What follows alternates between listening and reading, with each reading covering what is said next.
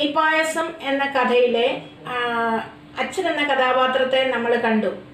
ആ അച്ഛൻ എന്ന കഥാപാത്രം തന്റെ ഭാര്യയുടെ ശവദഹനവും കഴിഞ്ഞിട്ട് ബസ്സിൽ തിരികെ വീട്ടിലേക്ക് വരുന്നതാണ് നമ്മൾ കണ്ടത്. ആ വരുന്ന വരവിന് അദ്ദേഹം തന്റെ അന്നത്തെ ദിവസത്തെക്കുറിച്ച് ഓർക്കുന്നു. അദ്ദേഹത്തിന്റെ മനസ്സിൽ മായാതെ നിൽക്കുന്ന ഒരു വാക്യത്തെക്കുറിച്ച് നമ്മൾ കേട്ടു. എന്തായിരുന്നു ആ വാക്യം? ആ മുടി പൊതച്ച് ഉറങ്ങിയാൽ പറ്റുമോ ഇന്ന് തിങ്കളാഴ്ചയല്ലേ ഉണ്ണിയെ. ഇനി തുടർന്നുള്ള ഭാഗങ്ങളിലേക്ക് നമ്മൾ വരുമ്പോൾ ഇത്രമാത്രം പ്രയാസങ്ങളൊക്കെയുള്ള ജീവിതമായിരുന്നെങ്കിലും അവർ പരസ്പരം സ്നേഹിച്ചിരുന്നു എന്ന് അദ്ദേഹം ഓർക്കുകയാണ്. അവരുടെ മൂന്ന് കുട്ടികളെ കുറിച്ചാണ് നമ്മൾ പറയുന്നത്. അവിടെയാണ് നമ്മൾ വായിച്ചു നിർത്തിയത്. ഉണ്ണി പത്ത് വയസ്സ് ബാലൻ ഏഴ് വയസ്സ് രാജൻ അഞ്ച് വയസ്സ്. മുഖത്ത് എപ്പോഴും മെഴുക്ക് പറ്റി നിൽക്കുന്ന മൂന്ന് കുട്ടികൾ. പറയത്തക്ക സൗന്ദര്യമോ സാമർഥ്യമോ ഒന്നുമില്ലാത്തവർ. തങ്ങളുടെ കുഞ്ഞുങ്ങൾ അവരുടെ സാഹചര്യങ്ങളുടെ ചുറ്റുപാട് കൊണ്ട് വളരെയധികം സൗന്ദര്യത്തിന്റെ പ്രൗഢിയോ ഒന്നും ഉണ്ടായിരുന്നതായ കുഞ്ഞുങ്ങളല്ലായിരുന്നു. എപ്പോഴും മെഴുക്ക് പറ്റി നിൽക്കുന്ന എന്ന് പറഞ്ഞാൽ അത്ര ഗ്ലോ എന്ന മുഖത്തുണ്ടായിരുന്നില്ല എന്ന് ചുരുക്കം. എന്നിരുന്നാലും ഇവരുടെ ജീവിതത്തെപ്പറ്റി ഈ അമ്മയ്ക്കും അച്ഛനും പ്രത്യേകമായ ചില പ്രതീക്ഷകളൊക്കെ ഉണ്ടായിരുന്നു എന്നാണ് പറയുന്നത്.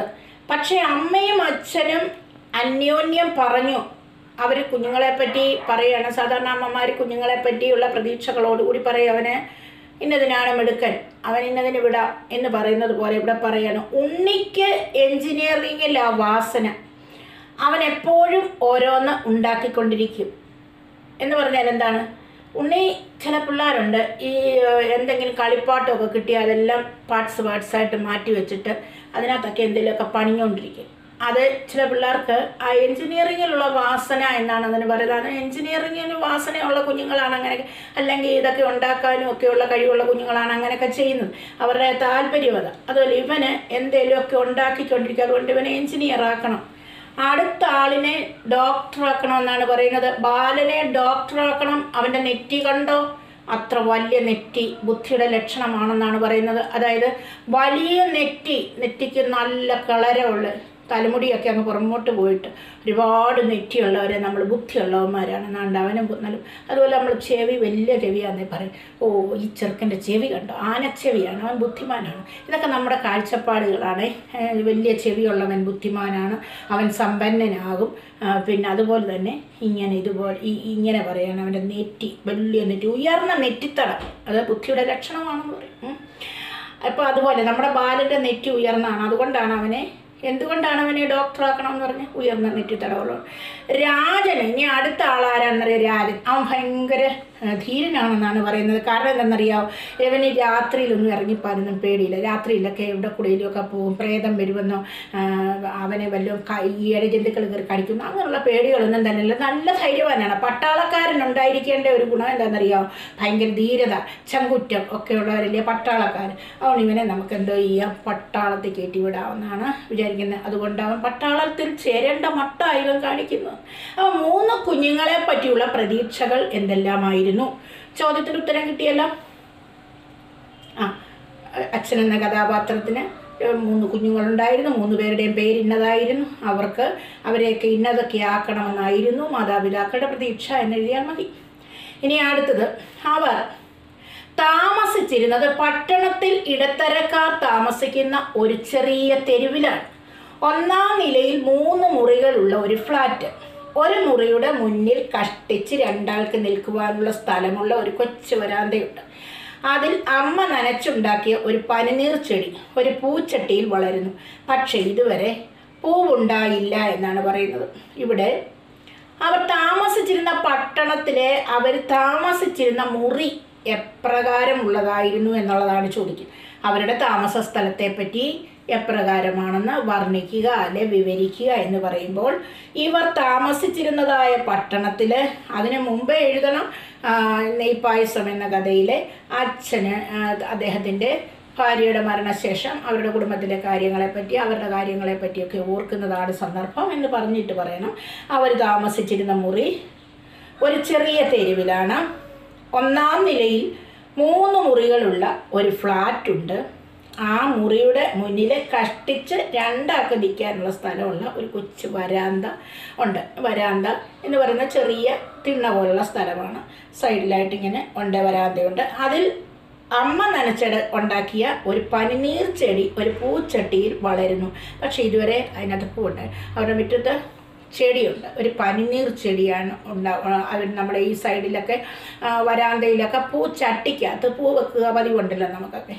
അതേപോലെ തന്നെ സൈഡിലൊക്കെ പൂവൊക്കെ ഇങ്ങനെ വെച്ച് ഒരു പൂച്ചട്ടിയിൽ റോസാ പനിനീർ ചെടി പനിനീർ ചെടി എന്ന് പറഞ്ഞാൽ റോസപ്പൂവാണ് പൂവാണ്. ഉണ്ടായിരുന്നു.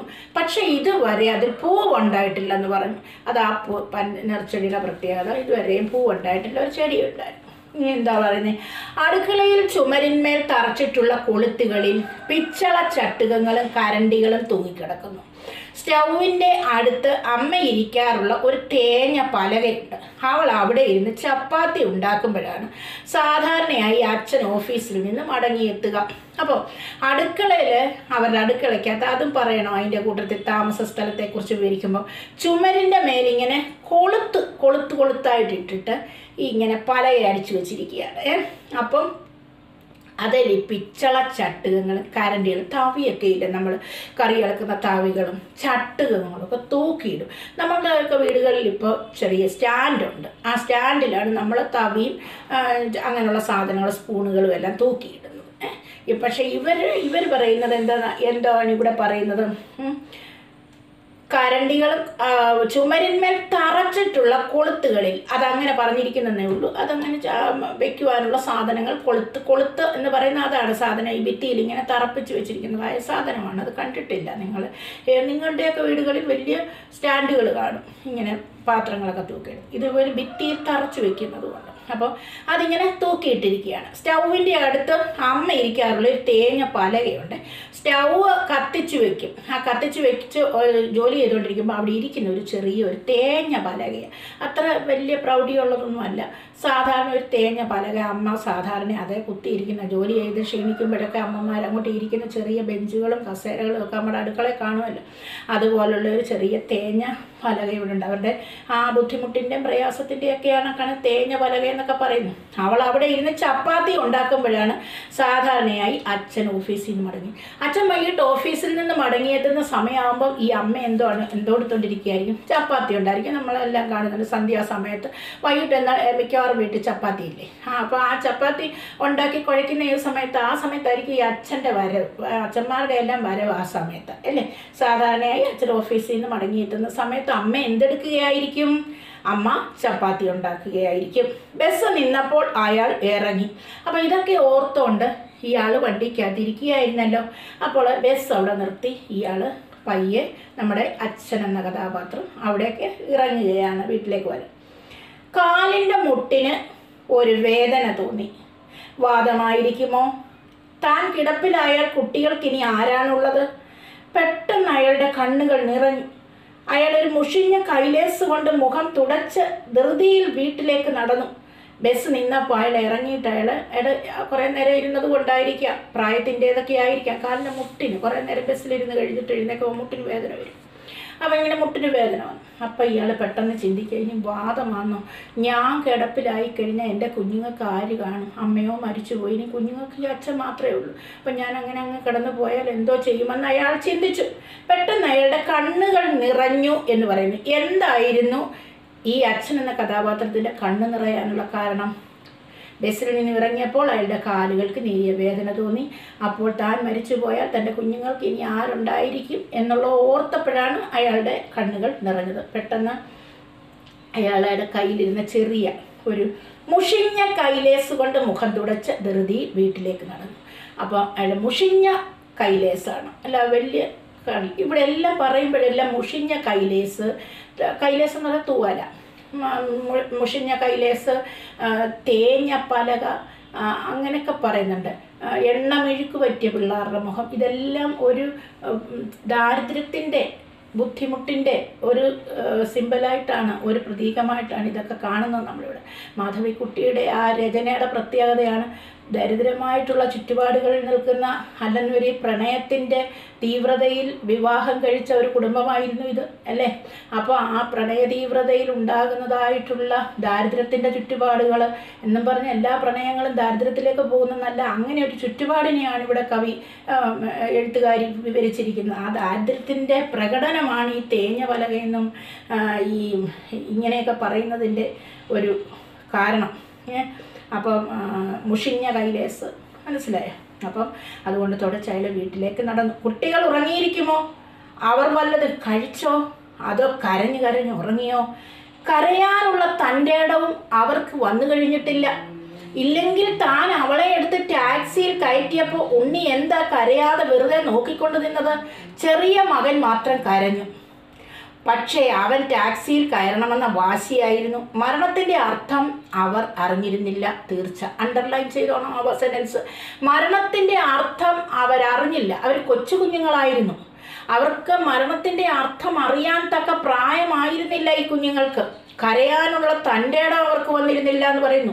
കുട്ടികൾ ഉറങ്ങിയിരിക്കുമോ? അവർ വല്ലതും കഴിച്ചിരിക്കുമോ? ഈ മരണത്തിന്റെ അടക്കത്തിന് വേണ്ടി പോയിരുന്ന വ്യക്തിയാണ്. അദ്ദേഹം തിരിച്ചു വരുമ്പോൾ ഈ കുഞ്ഞുങ്ങൾക്ക് അവസ്ഥ എന്തായിരിക്കും? കുഞ്ഞുങ്ങൾ ഉറങ്ങിക്കാണുമോ? അവർ വല്ലതും കഴിച്ചു കാണുമോ? എന്നിട്ട് പറയുകയാണ് കരയാനുള്ള തന്റെ ഇടം പോലും അവർക്കില്ല. കാരണം എന്തിനാണ് കരയുന്നത്? തന്റെ അമ്മ ഇനിയും തിരിച്ചു വരില്ല എന്ന സത്യത്തെ ഉൾക്കൊള്ളാനും ഒന്നും കഴിവുള്ള ഒരു കുഞ്ഞുങ്ങളായിരുന്നില്ല ഇവരെന്ന് പറയുന്നു.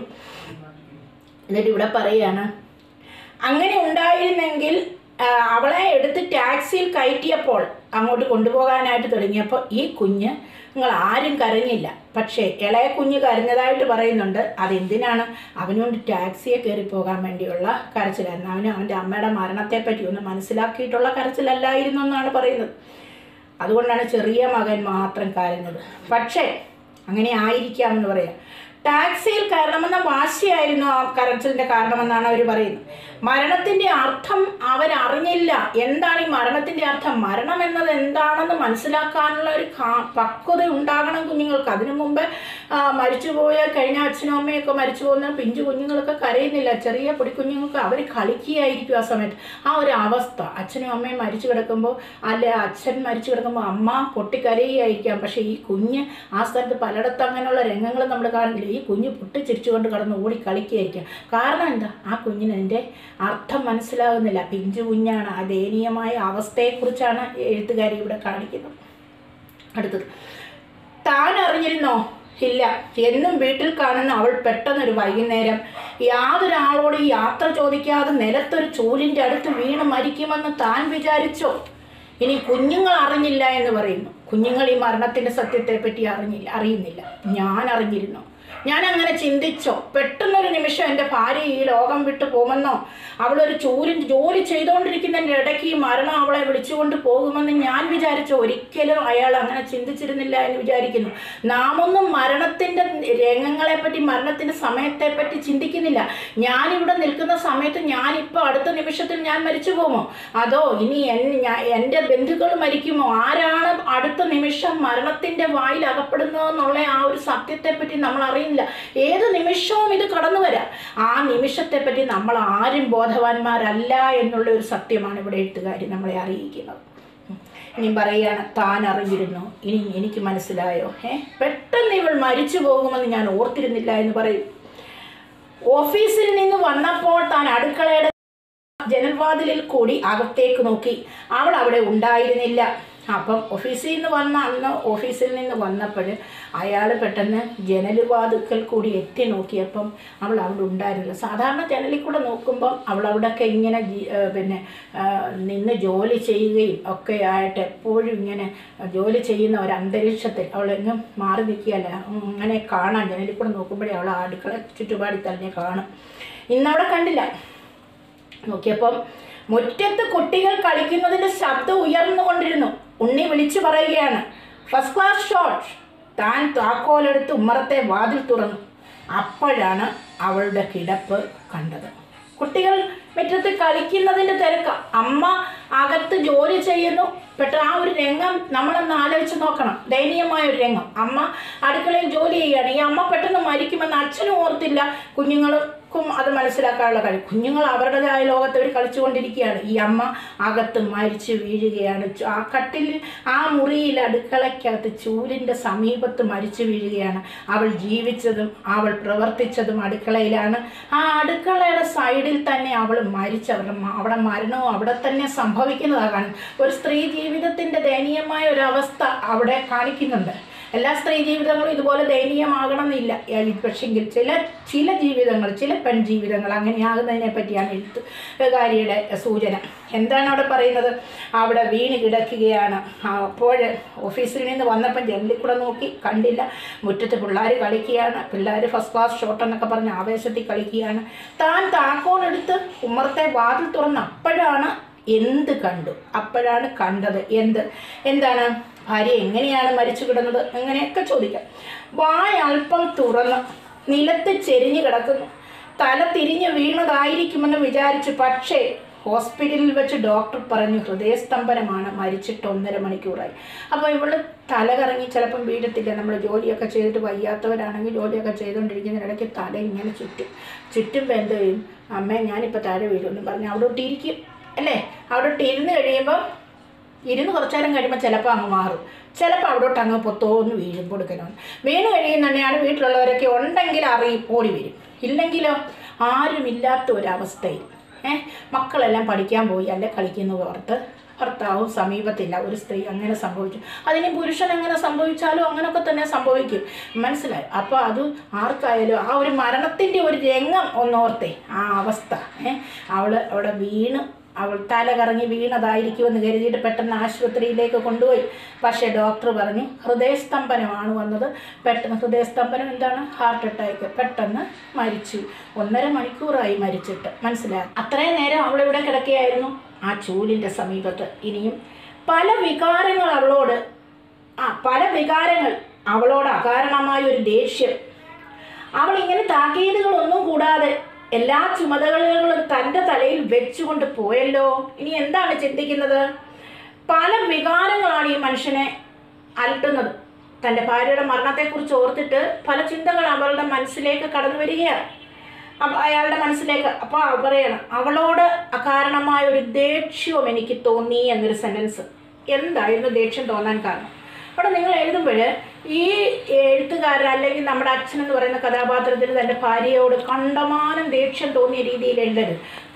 എന്താ ദേഷ്യം തോന്നാൻ കാരണം എന്ന് പറഞ്ഞാൽ നിങ്ങൾ എഴുതുമ്പോൾ ആ എഴുതുന്ന ഒരു രീതി ഉണ്ടല്ലോ. അകാരണമായ ഒരു ദേഷ്യം തോന്നി. നമ്മൾ ചുമ്മാ പറയത്തില്ല ഓ ഇവളോട് എനിക്കൊക്കെ ദേഷ്യം വരുന്നു. ഇവളെന്താ ഇങ്ങനെയൊക്കെ കാണി-" അങ്ങനെ പറയുന്ന ഒരു ചുമ്മാതൊരു ചെറിയ ദേഷ്യം പോലെ തോന്നി എന്നേ പറയുന്നുള്ളൂ. അല്ല വലിയ ദേഷ്യമല്ല. മരിച്ചുപോയ ആളിനോട് വലിയ ദേഷ്യം തോന്നി എന്നല്ലർത്ഥം അങ്ങനെ എഴുതുന്ന എഴുതിക്കൊണ്ടിരിക്കുന്ന പല കുട്ടികൾ എഴുതുന്ന ഞാൻ കാണുന്നുണ്ട്. അതുകൊണ്ടാണ് ഞാൻ അങ്ങനെ പറഞ്ഞത്. മനസ്സിലായി? അവളോട് അകാരണമായ ഒരു ദേഷ്യം തോന്നി. അവൾ ഇങ്ങനെ താക്കീതുകളൊന്നും കൂടാതെ എല്ലാ ചുമതലകളും തന്റെ തലയിൽ വെച്ചുകൊണ്ട് പോയല്ലോ എന്ന് ഓർത്തപ്പോൾ ഉള്ള ഒരു ദേഷ്യമായിരുന്നു? ഒരു സങ്കടം. അതാണ്. സങ്കടത്തിൽ നിന്നുണ്ടായതായ ഒരു ദേഷ്യം. ഇവളെല്ലാ ചുമതലയും കൂടെ എന്റെ തലയെ വെച്ചിട്ട് ഒരു താക്കീതും കൂടാതെ ഞാൻ മരിച്ചു പോകുമെന്ന് പറയാം. താക്കീത് കൊണ്ട് ഞാൻ നാളെ ചത്തു പോകുമെന്ന് പറഞ്ഞിട്ട് പോകാൻ പോകും പക്ഷെ ചിലർക്കൊക്കെ ഈ രോഗങ്ങളൊക്കെ വന്ന് കിടക്കുകയാണെങ്കിൽ നമുക്കറിയാം. ഇവരിന്നല്ലെങ്കിൽ നാളെ മരിക്കും. അപ്പോൾ ആ മരണത്തിന്റെ വേദനയ്ക്ക് കുറച്ചൊരു ആശ്വാസം കിട്ടുമായിരിക്കാം എന്നുള്ളതാണ് ഇത് മരിച്ചു പോകുന്നതിലൊരു പ്രതീക്ഷയുണ്ട്. പെട്ടെന്ന് പ്രതീക്ഷകളൊന്നും തന്നെ ഇല്ലാതെ ജീവിതത്തിലെ ഭാരങ്ങളെല്ലാം തന്റെ ഭർത്താവിനെ ഏൽപ്പിച്ചിട്ട് മരിച്ചു പോവുക എന്ന് പറയുമ്പോൾ അത് ഭർത്താവിനെ സംബന്ധിച്ചിടത്തോളം വളരെ ദുഃഖമാണത് അയാൾ ഓർക്കുകയാണ്. ഇനി ആരാണ് കുട്ടികളെ കുളിപ്പിക്കുക? ആരാണ് അവർക്ക് പലഹാരങ്ങൾ ഉണ്ടാക്കി കൊടുക്കുക? ആരാണ് ദീനം പിടിപെടുമ്പോൾ അവരെ ശുശ്രൂഷിക്കുക? ഇതൊക്കെ ചെയ്തിരുന്നത് തന്റെ ഭാര്യയായിരുന്നു എന്നാണ് പറയുന്നത്. അതുകൊണ്ട് എന്തായിരുന്നു ദേഷ്യം വരാനുള്ള കാരണമെന്ന് പറഞ്ഞാൽ അവളെ താക്കീതുകളൊന്നും കൂടാതെ എല്ലാ ചുമതലകളും അദ്ദേഹത്തിന്റെ തലയിൽ വെച്ചിട്ട് പോയി. അതുപോലെ തന്നെ ആരാണ് ഇനി കുട്ടികളെ കുളിപ്പിക്കുക? അത് അവളാണ് ചെയ്തുകൊണ്ടിരുന്നത്. ആരാണ് അവർക്ക് പലഹാരങ്ങൾ ഉണ്ടാക്കി കൊടുക്കുക? അതും അവളാണ് ചെയ്തുകൊണ്ടിരുന്നത്. ആരാണ് ദീനം പിടിപെടുമ്പോൾ അവരെ ശുശ്രൂഷിക്കുക? അതും അവൾ തന്നെയാണ് ചെയ്തുകൊണ്ടിരുന്നത്. എന്റെ ഭാര്യ മരിച്ചു. അയാൾ തന്നെത്താൻ മന്ത്രിച്ചു. എന്റെ ഭാര്യ ഇത്ര പെട്ടെന്ന് ഹൃദയസ്തംഭനം കൊണ്ട് മരിക്കുമെന്ന് മരിച്ചതുകൊണ്ട് എനിക്ക് നാല് ദിവസത്തെ ലീവ് വേണം. നീ എന്താണ് പറയുന്നത് ആരാണ് ദീനം പിടിപെടുമ്പോൾ അവരെ ശുശ്രൂഷിക്കുക? ഇതൊക്കെ ചെയ്യുന്നത് ഇനി ആരാണെന്ന് ചിന്തിച്ചിട്ട് പെട്ടെന്ന് പറയാണ്. എന്റെ ഭാര്യ മരിച്ചു. അയാൾ തന്നെത്താൻ മന്ത്രിക്കുകയാണ്. എന്റെ ഭാര്യ മരിച്ചുപോയി. ഏഹ് എന്റെ ഭാര്യ ഇന്ന് പെട്ടെന്ന് ഹൃദയസ്തംഭനം മൂലം മരിച്ചതുകൊണ്ട് എനിക്ക് രണ്ട് ദിവസത്തെ ലീവ് വേണം. എത്ര നല്ല ലീവ് അഭ്യർത്ഥനയായിരുന്നു. അപ്പോൾ ഇദ്ദേഹത്തിന് ഇനി ലീവ് വേണ്ടേ ഓഫീസിൽ നിന്ന്? അപ്പോൾ ഓഫീസിൽ നിന്ന് ലീവ് എടുക്കുന്നതിനെ പറ്റിയുള്ള ചിന്തയാണ് അയാൾ ചിന്തിക്കുന്നത്. എന്റെ ഭാര്യ ഹൃദയസ്തംഭനം കൊണ്ട് മരിച്ചു. നമ്മൾ ലീവൊക്കെ എടുക്കുമ്പോൾ എനിക്ക് കല്യാണത്തിന് പോകാനാണ് ഒരു ലീവ് വേണമെന്ന് പറയുമ്പോൾ വലിയ സന്തോഷമാണ്. അല്ലേ? അല്ലേ? എൻജോയ്മെന്റ് എവിടെയെങ്കിലും പോകാൻ വേണ്ടിയാണ് ലീവ് എന്ന് പറയുമ്പോൾ വലിയ സന്തോഷമാണ്. പക്ഷേ എന്റെ ഇന്നാര് മരിച്ചുപോയി എനിക്ക് അതുകൊണ്ട് ലീവ് വേണമെന്ന് വിളിച്ച് പറയുമ്പോഴുണ്ടാകുന്നതായ ഒരു വേദന. ഇത് പ്രത്യേകിച്ച് ഭാര്യയാണ് മരിച്ചത്. എന്റെ ഭാര്യ ഹൃദയസ്തംഭനം കൊണ്ട് മരിച്ചു. എനിക്കൊരു ലീവ് വേണമെന്ന് പറയുമ്പോൾ എത്ര ദയനീയമായ ഒരു ലീവ് അഭ്യർത്ഥനയായിരിക്കും അത്. അണ്ടർലൈൻ ചെയ്തോ. എത്ര നല്ല ഒരു ലീവ് ലീവ് അഭ്യർത്ഥനയായിരിക്കും അതെന്ന് പറയാനുള്ള കാരണം എന്താണ്? ഭാര്യയ്ക്ക് സുഖക്കേടാണെന്നല്ല. ഭാര്യ മരിച്ചെന്നാ പറയുന്നത് ഏഹ് എന്റെ ഭാര്യയ്ക്ക് സുഖക്കേടാണ് എന്നല്ല. അങ്ങനെ പറഞ്ഞാൽ അത്രയും സങ്കടം വരത്തില്ല. ഇത് ഭാര്യ മരിച്ചെന്നാണ് പറയുന്നത്. മേലുദ്യോഗസ്ഥൻ ഒരുപക്ഷെ തന്നെ മുറിയിലേക്ക് വിളിച്ചേക്കാം. ഞാൻ വളരെ വ്യസനിക്കുന്നു. അയാൾ പറയും ഹാ ഹാ അയാളുടെ വ്യസനം. അയാൾ അവളെ അറിയില്ല. അവളുടെ അറ്റം ചുരുണ്ട തലമുടിയും ക്ഷീണിച്ച പുഞ്ചിരിയും മെല്ലെ മെല്ലെയുള്ള നടത്തവും ഒന്നും അയാൾക്കറിയില്ല. അതെല്ലാം തന്റെ നഷ്ടങ്ങളാണ്. അപ്പം എന്താ എന്ത് നല്ല ലീവ് അഭ്യർത്ഥനയായിരിക്കും എന്ന് ചിന്തിച്ചു പറയാം. തന്റെ മേലുദ്യോഗസ്ഥൻ ഒരു പക്ഷേ തന്നെ മുറിയിലേക്ക് വിളിച്ചേക്കാം ഇങ്ങനെ ലീവ് അഭ്യർത്ഥിച്ച് ചെല്ലുമ്പോൾ ഒരാൾ ചിന്തിക്കുകയാണ്. ഒരു പക്ഷേ എന്നെ എന്റെ മേലുദ്യോഗസ്ഥൻ അങ്ങോട്ട് വിളിക്കുമായിരിക്കാം. ഞാൻ വളരെ വ്യസനിക്കുന്നു എന്ന് അയാൾ പറയുമായിരിക്കാം. ഏ? അയാൾ ചിലപ്പോൾ പറയായിരിക്കും നമ്മൾ ഒരാളുടെ മരണം കേൾക്കുമ്പോൾ ആദ്യം പറയുന്നത് കണ്ടോളൻസസ് പറയും. അപ്പോൾ അത് സാധാരണ നമ്മൾ പറയുന്നത് അതിനകത്ത് എത്ര വേദനയുണ്ട് എത്ര മാത്രം ദുഃഖിക്കും. മറ്റൊരുവന്റെ വേദനയിൽ പ്രണാമവും പിന്നെ ആദരാഞ്ജലിയൊക്കെ പറയുമ്പോൾ അത്രമാത്രം വേദന ഈ വ്യക്തിക്ക് പറയുന്ന വ്യക്തിക്ക് ഉണ്ടാകാനിടയില്ല. അപ്പോൾ എന്തോ വ്യസനമോ. അയാൾക്ക് ഈ ഉദ്യോഗസ്ഥൻ പറയുമായിരിക്കും അവിടുത്തെ ഓഫീസർ പറയുമായിരിക്കാം. ആ എനിക്ക് പിന്നെ സങ്കടമുണ്ട് വ്യസനം വളരെയധികം ഞാൻ വ്യസനിക്കുന്നു എന്നൊക്കെ പറഞ്ഞാലും അയാൾക്ക് എന്തോ വ്യസനമെന്നാണ് ഇയാൾ ചിന്തിക്കുന്നത്. ഹോ അയാളുടെ വ്യസനം അയാൾ അവളെ അറിയില്ല. എന്റെ ഭാര്യ അയാൾ അറിയുമോ? അവളുടെ അറ്റം ചുരുണ്ട തലമുടിയും ക്ഷീണിച്ച് പു ക്ഷീണിച്ച പുഞ്ചിരിയും മെല്ലെ മെല്ലെയുള്ള നടത്തവും ഒന്നും അയാൾക്കറിയില്ല. അതെല്ലാം തന്റെ നഷ്ടങ്ങൾ. എന്തെല്ലാമാണ് അയാളുടെ നഷ്ടങ്ങൾ എന്നതാണ് ചോദ്യം. വാതിൽ തുറന്നപ്പോൾ ചെറിയ മകൻ കിടപ്പറയിൽ നിന്ന് ഓടി വന്ന് പറഞ്ഞു അമ്മ വന്നിട്ടില്ല. അവർ ഇത്ര വേഗം ഇതെല്ലാം മറന്നെന്നോ ടാക്സിയിലേക്ക് കയറ്റിവെച്ച ആ ശരീരം തനിച്ചു മടങ്ങുമെന്ന് അവർ വിചാരിച്ചോ? അയാൾ അവന്റെ കൈ പിടിച്ചുകൊണ്ട് അടുക്കളയിലേക്ക് നടന്നു. വാതിൽ തുറന്നപ്പോൾ അടക്കമെല്ലാം കഴിഞ്ഞ് വന്നതായ അച്ഛൻ എന്ന കഥാപാത്രം. അല്ലേ അദ്ദേഹത്തെ കിടപ്പറയിൽ നിന്ന് മോൻ ഓടി വന്നിട്ട് പറയാ അമ്മ വന്നിട്ടില്ല. വന്നിട്ടില്ല. അമ്മ വന്നിട്ടില്ല. ഏ അവരെല്ലാം മറന്ന ലക്ഷണം. അവർക്കറിയത്തില്ല അമ്മ എവിടെയാണ് കൊണ്ടുപോയതെന്നൊന്നും ഈ കുഞ്ഞുങ്ങൾക്ക് അറിയത്തില്ല എല്ലാം ഇത്ര വേഗം മറന്നുവെന്നോ എന്തെന്റെ കാര്യമാണ് അവിടെ സൂചന? അവരിത്ര വേഗം ഇതെല്ലാം മറന്നോ? ടാക്സിയിലേക്ക് കയറ്റി വെച്ച ആ ശരീരം തനിച്ചു മടങ്ങുമെന്ന് അവർ വിചാരിച്ചു. നീ ഈ കുഞ്ഞുങ്ങൾ വിചാരിച്ചോ ആ കൊണ്ടുപോയ ശരീരം വീണ്ടും തനിച്ചിങ്ങി മടങ്ങി വരുമെന്ന് ഓർത്തോ? അത്രയ്ക്ക് അറിവില്ലാത്ത കുഞ്ഞുങ്ങളാണ്. അയാൾ അവന്റെ കൈ പിടിച്ച് അടുക്കളയിലേക്ക് നടന്നു. ഉണ്ണി അയാൾ വിളിച്ചു എന്താ അച്ഛ? ഉണ്ണി കട്ടിലിന്മേൽ നിന്ന് എഴുന്നേറ്റ് വന്നു. ഉണ്ണി എന്ന് വിളിച്ചു. അയാൾ അടു കയറിയിട്ട് ഉണ്ണി എന്ന് വിളിച്ചപ്പോൾ ഉണ്ണി കട്ടിലിൽ നിന്ന് എഴുന്നേറ്റ് വന്നു. ബാലനോ? അവൻ ഉറങ്ങി. നിങ്ങളൊക്കെ വല്ലതും കഴിച്ചോ? ഇല്ല. അപ്പം കുഞ്ഞുങ്ങളോട് ചോദിക്കാം മോനെ വല്ലതും കഴിച്ചോ? ഉണ്ണി ഓടി വന്നു. ബാലൻ അപ്പോഴത്തേനും ഉറങ്ങി. അല്ലേ? അവൻ കൊച്ചല്ലേ? അവൻ കിടന്ന് ഉറങ്ങിപ്പോയി. നിങ്ങളൊക്കെ വല്ലതും കഴിച്ചോ? ഇല്ല. അയാൾ അടുക്കളയിൽ തിണ്ണമേൽ അടച്ചു വെച്ചിരുന്ന പാത്രങ്ങളുടെ തട്ടുകൾ നീക്കി പരിശോധിച്ചു. സാധാരണ അമ്മമാർ ചോറുമൊക്കെ കറിയൊക്കെ വെച്ചിട്ട് എന്തോ ഈ മേശയിൽ ഇങ്ങനെ അടുക്കി വയ്ക്കും ചോറ് വെച്ചിട്ട് ആദ്യമേ നമ്മൾ കൊണ്ട മേശപ്പുറത്ത് ഇങ്ങനെ പാത്രത്തിലെല്ലാം എടുത്ത് അങ്ങ് വെക്കും. ആർക്കാ വേണ്ടിയപ്പം എടുത്ത് കഴിക്കാമല്ലോ. അതുകൊണ്ട് അങ്ങനെ വെച്ചിരിക്കുകയാണ്. ഏ? അപ്പോൾ പറയുകയാണ് അയാൾ അവിടെ ചെന്നതെല്ലാം നീക്കി പരിശോധിച്ച് എന്താ ഇവൾ ഉണ്ടാക്കി വെച്ചിരിക്കുന്നത്? അവൾ തയ്യാറാക്കി വെച്ചിരുന്ന ഭക്ഷണം ചപ്പാത്തി ചോറ് ഉരുളക്കിഴങ്ങ് കൂട്ടാൻ ഉപ്പേരി തൈര്.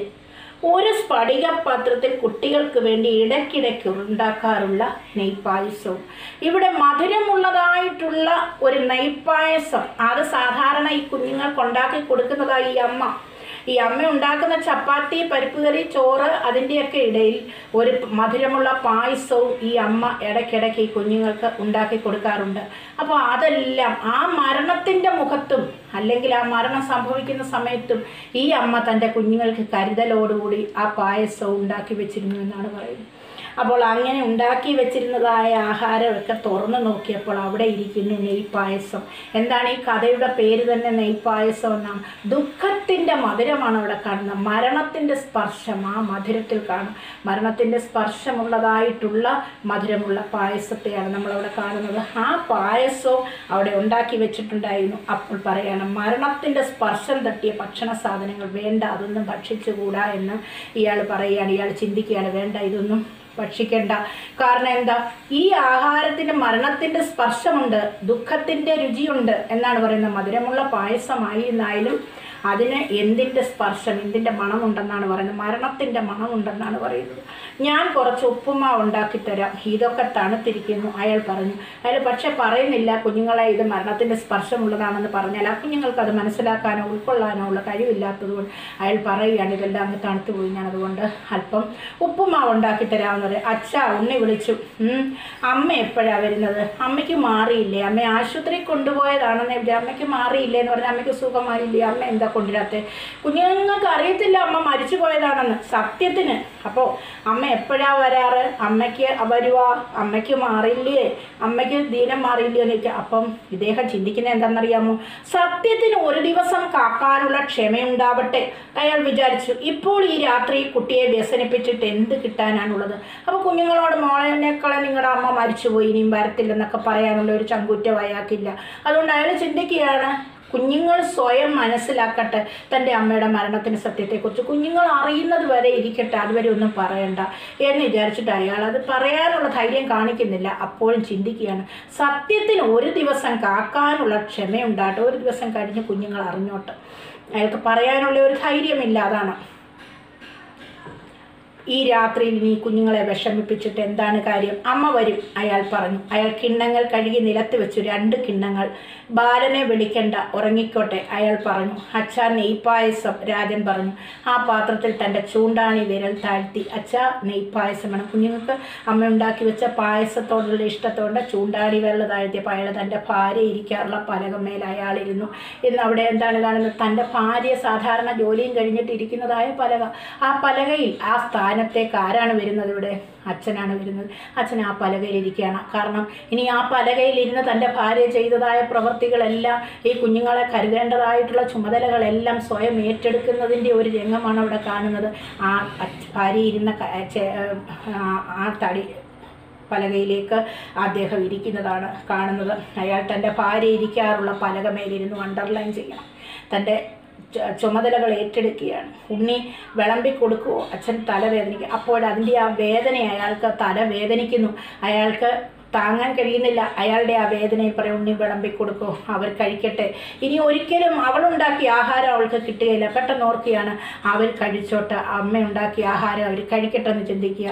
കാരണം ഇനി ഒരിക്കലും അമ്മ ഉണ്ടാക്കിയ ആഹാരം അവർക്ക് കഴിക്കാൻ കഴിയുകയില്ലല്ലോ കിട്ടുകയില്ലല്ലോ. കുട്ടികൾ പായസം കഴിച്ചു തുടങ്ങി. അയാൾ അത് നോക്കിക്കൊണ്ട് നിശ്ചലനായിരുന്നു. കുറേ നിമിഷങ്ങൾക്ക് ശേഷം അയാൾ ചോദിച്ചു ചോറ് വേണ്ടേ ഉണ്ണി? വേണ്ട പായസം മതി നല്ല സ്വാദുണ്ട്. അപ്പോൾ ആ മരണത്തിന്റെ ഗന്ധം തട്ടിയതെന്ന് പറയുന്നതായ പായസത്തിന് കുഞ്ഞുങ്ങൾക്ക് നല്ല സ്വാദ് തോന്നിക്കുക. കാരണം തന്റെ മരിച്ചു പോയതായിട്ടുള്ള അമ്മ ഉണ്ടാക്കിയതായിട്ടുള്ള ആഹാരമാണ്.